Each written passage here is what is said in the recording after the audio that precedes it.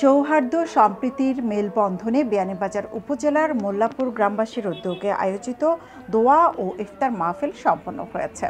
মঙ্গলবার বিকেলে মোল্লাপুর শাহী ঈদগাহ ময়দানে আয়োজিত ইফতার মাহফিলে গ্রামের নেতৃস্থানীয় ব্যক্তিবর্গ, মুরব্বী, যুবক ও শিশু কিশোর সহ উপজেলার বিভিন্ন এলাকার নানা শ্রেণি পেশার আট শতাধিক মানুষ অংশ নেন।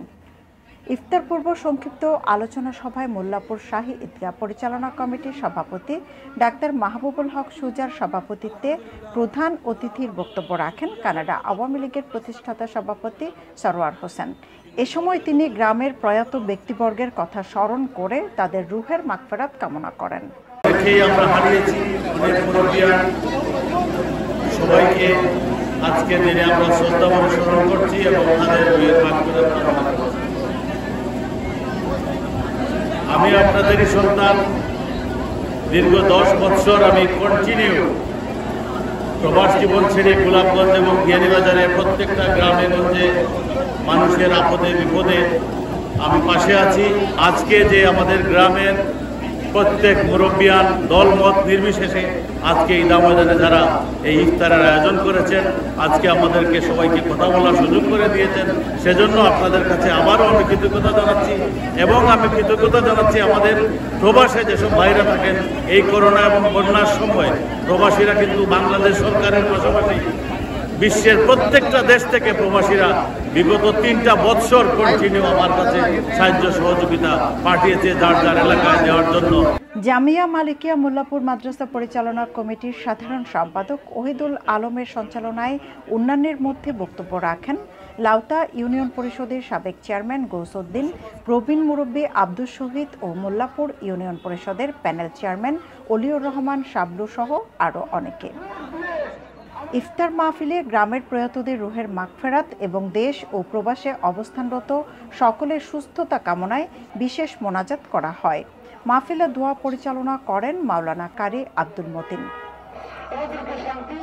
ইফতার মাহফিল শেষে গণমাধ্যমের সাথে আলাপকালে নৌকার মনোনয়ন প্রত্যাশী সরোয়ার হোসেন বলেন, গোলাপগঞ্জ বিয়ানীবাজার উপজেলার পিছিয়ে পড়া এলাকার উন্নয়নের জন্য কাজ করতে আগামী জাতীয় সংসদ নির্বাচনে অংশ নিতে চান।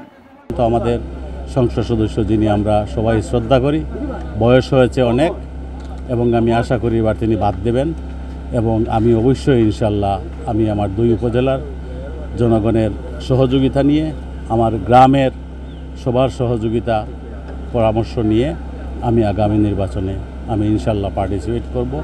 আমি আমার কেনেডিয়ান নাগরিকত্ব আমি সারেন্ডার করে আমি চলে আসছি এবং আমি জনগণের সঙ্গে আমি এমপি হলেও এলাকায় এই জনগণের সঙ্গে বাকি জীবনটুকু কাটাবো আমি না হলেও আমি কাটাবো।